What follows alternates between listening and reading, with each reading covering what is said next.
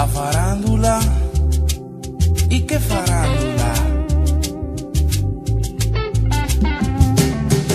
La gente ya se ha vuelto loca en la red. Publican todo lo que les pasa